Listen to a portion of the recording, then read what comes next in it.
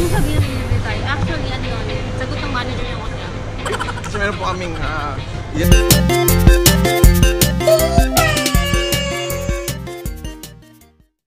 Hi guys, we're here na at Sentosa. So after how many hours? After 10 hours, Asan ba kasi? Tawagan ko muna kay ate si Jan. Ito sabi niya parang mga black daw eh. ano to? Wala tayong sakit. Tagal muna natin siya para sigurado.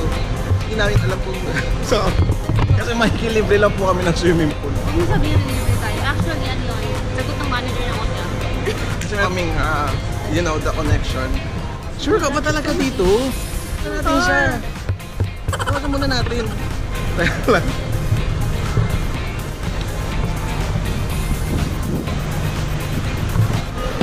Kaya nga guys, nagkamali kami ng way. Hindi po dito ang way namin dapat.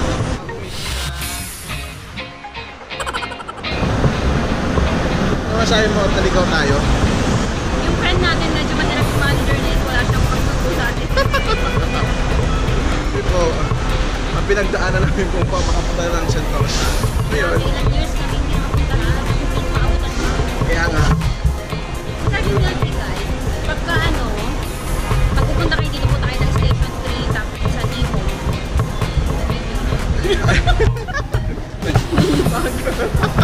may, may, may pearl lang kami. pag-edit niya na.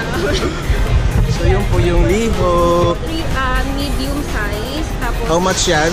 90 lang. Mura ba or mahal? Anong convert? Nagdagdag lang ko pera. Ito sobrang enjoy ko tong sa akin. Tawag mo nito to kasi dos. Dos lang to. 2 dollars lang para may tununaw lang na asukal. Mm. Pero okay na rin, pampawi ng init. Init dito, no?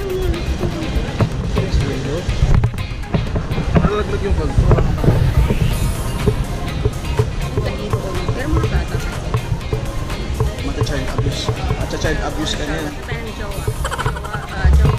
Jowa mo. Guys, pasensya na aking buhok kasi talagang ganyan siya. Style yan sa Singapore. Ang riban. Pupunta namin sa hotel namin. Tatampisaw lang kami. Actually, tagal din isang pool dito. Gusto ka din, oh. Ayoko yan, tsaka to. Ayaw mo na yan? May, may ano yan. May, May bayad. wala naman siguro. Sana, sana daw. Okay, dyan, saan ba tayo pupunta? Ano yung pawis ko, ah, in fairness. Nandun ako sa lamin. Ang ganda dun, no? Parang hanapin naman tayo. Layo na malaki. Pupuntahan natin yan mamaya. Amin lang tayo. Mga after natin mag-swimming.